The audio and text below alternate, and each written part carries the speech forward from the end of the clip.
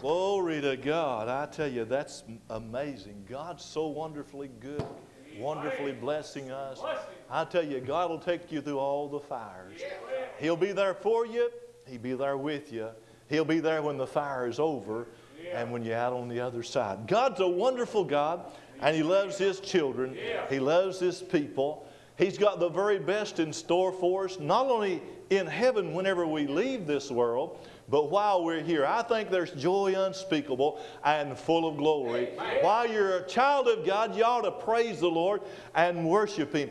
We may not have a tomorrow, so today we are to worship Him just like that this might be our last opportunity and privilege. I'm so honored to be the pastor of this fine and great church and these wonderful people my son-in-law, Brother Darren Lord, on the piano, Brother Don Frederick on the bass, Pam Mills, lead singer, and all of our choir, the, yeah. two, the two young ones. Uh, I've got to say just a little bit about them. Those are my two grandgirls, yeah. Ashton and Madison, and they're such a blessing to us. And, and Teresa and, and Betty and Charlotte, we're glad. We're kind of low tonight because of the weather.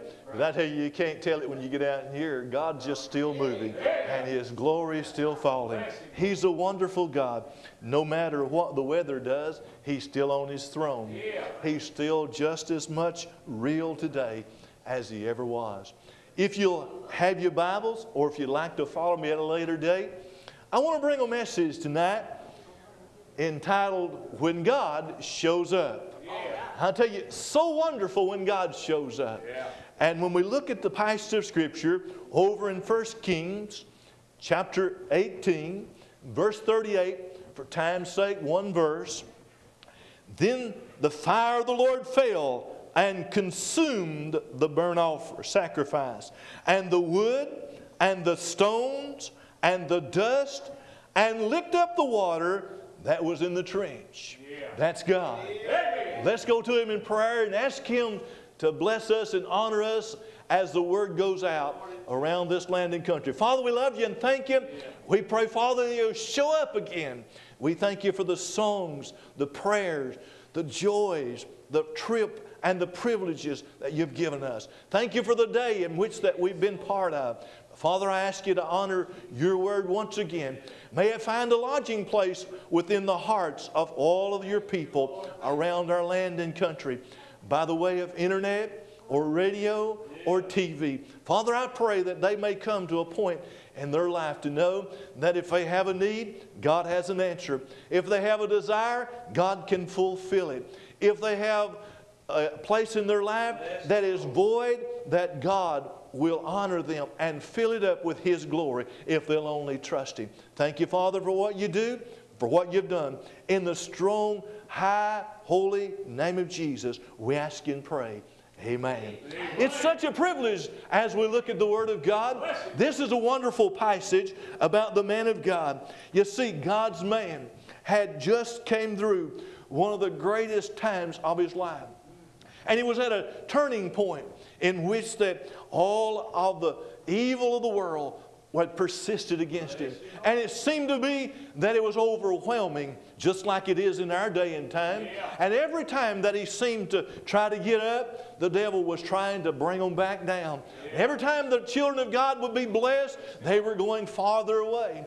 And the devil would trying his very best to destroy and discredit the God, work of God and yet God was to you alive and well. Sometimes we don't realize how well God is. I tell you, God can heal, God can save, God can bless, God can honor you, God can do all things for you because He's the great God I am.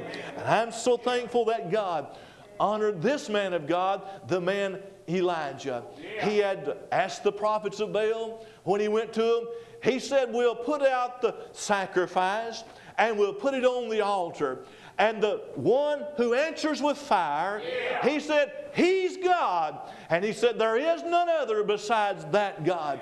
And there he said, Out there, they put all their sacrifices. They built their altar. They placed the sacrifice on it, just like the Word of God said, and just as real as real could be. The prophets of Baal began to cry out to their God, and they got no answer. They began to cry out and ask him why that he wasn't answering.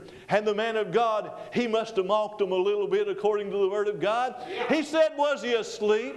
Is your God asleep? Or is he on vacation? You know where your God's at? But I want you to know, he said, he hasn't answered with fire. But to make it more difficult, he said, Go get the barrels of water. And he said, Wet down the sacrifice and wet down the wood and dig a trench around it. And he said, He had so much that it filled the altar and it covered all around and it licked all around the trench. And there the man of God was. He, alone with all of those prophets of Baal, I want you to know you're never alone when God's on your side. You're still the majority in this world. I want you to know when God shows up, He'll show out. He's not ashamed, by the way.